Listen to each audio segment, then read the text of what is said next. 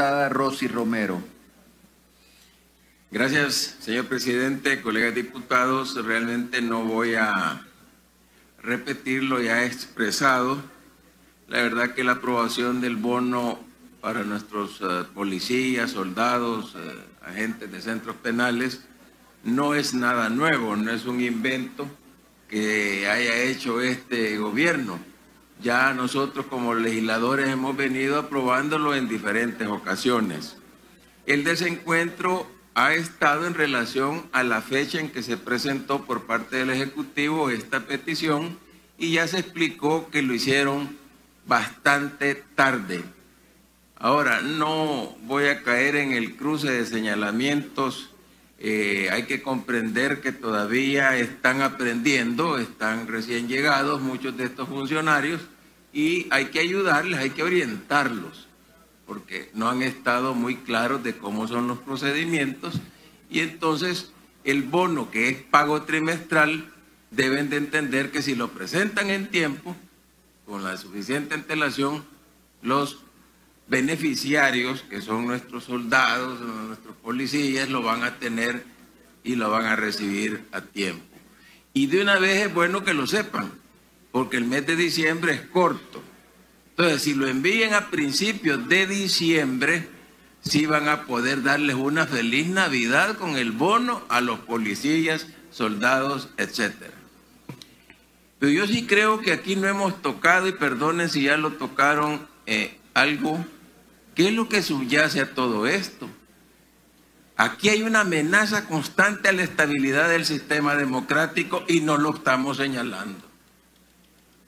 Porque esa arremetida feroz contra los diputados y diputadas, contra el rol de representación que tiene el órgano legislativo por constitución, eso es algo que está minando y está confundiendo a la población.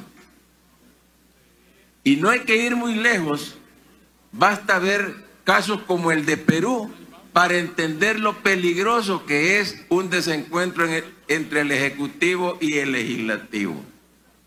Yo no digo que eso pueda pasar, pero lo que nosotros debemos de percatarnos es que también nos corresponde un rol de comunicación, de información a la población y para no ser repetitivo, quiero proponer formalmente a este pleno que se haga una publicación en todos los medios de comunicación con los elementos del por qué hasta en este día se aprobó el bono para nuestros policías.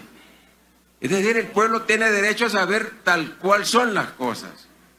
Y no venir a estar diciendo, aquel me dijo tonto y yo le digo peor, ¿verdad? No objetivamente informémosle al pueblo, miren, se atrasaron en presentar la petición de fondos, aquí está aprobada, pero les prevenimos para que lo hagan en tiempo. Y lo otro, que no mezclen peras con manzanas. Están, un decreto es para bonos, ya se aprueba. Pero ahí hay una colita que no se aprobó, por eso hay un dictamen favorable parcial porque de esa colita, que es de dos millones y pico, eso no hay explicación para dónde va. Y así hemos venido en épocas anteriores, que es para las botas, que es para los uniformes, que es para la munición, pero al final del día después no sabemos qué pasó con esas colitas.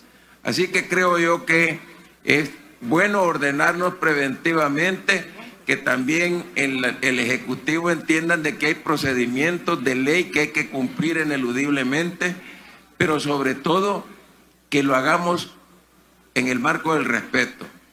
Esa campaña contra la estabilidad del sistema democrático, hay que decirlo, puede conducir al rompimiento constitucional.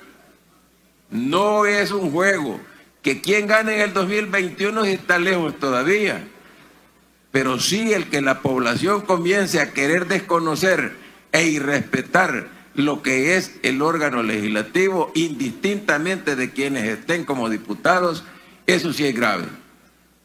Y también le toca a esta Asamblea Legislativa de manera institucional salir al paso de toda esa campaña de desprestigio, de difamación, de calumnias que están realizando algunos sectores.